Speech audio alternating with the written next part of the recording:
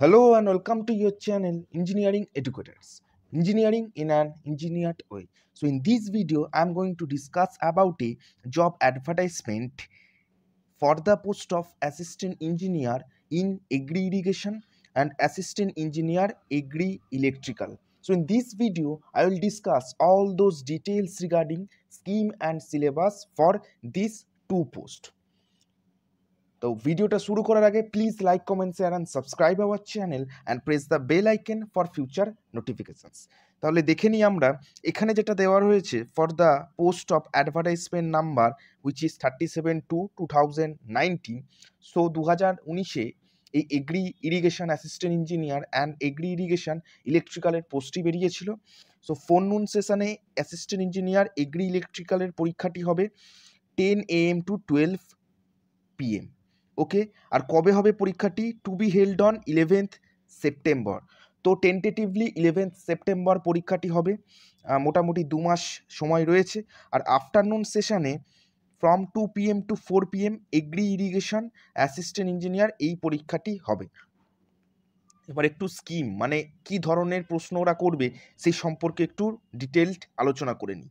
So you can see over here date of the examination will be eleven September which is Sunday two thousand twenty two আর যাদের assistant engineer agri electrical বা যাদের assistant engineer agri irrigation তারা সময়টা একবার দেখে নেবে।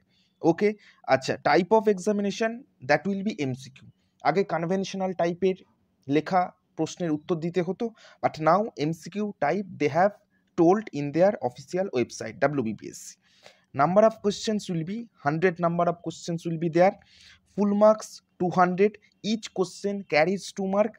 Duration 2 hour. আর negative marking two third মানে একটা ভুল হলে তোমাদের zero point six seven near about zero point six seven number কাটা যাবে তিনটে ভুল হলে দু নাম্বার ওকে এবার সিলেবাস এই সম্পর্কে এখানে ওরা বলে দিয়েছে syllabus R indicative only okay candidate should be prepare to answer any question from essential qualification or degree mention in the advertisement for the relevant post তো সিলেবাস যেটা দেওয়া রয়েছে সেই সম্পর্কেও আলোচনা করব। তো এখানে যেটা বলে দেওয়া রয়েছে syllabus that has been given it has it is for indicative per indicative purpose only candidate should be prepared to answer any question with respect to their relevant qualification okay তাহলে চলো একটু সিলেবাসটাও দেখে নিই। So here you can see syllabus that has been given from West Bengal public service commission for civil engineering discipline here hydrology তার আন্ডারে বিভিন্ন যে টপিকসগুলো রয়েছে এখানে তোমরা দেখতে পারো।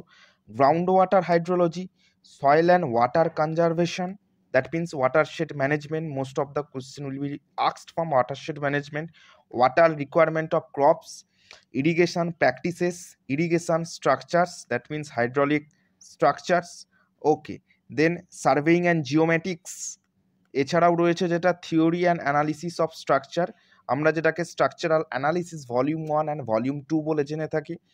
Then RCC and steel structure design then soil mecha mechanics and foundation engineering then you can see pumps hydraulics hydraulics এই যে তোমাদের পার্টগুলো দেওয়া রয়েছে, আর কিছু দেওয়া নেই।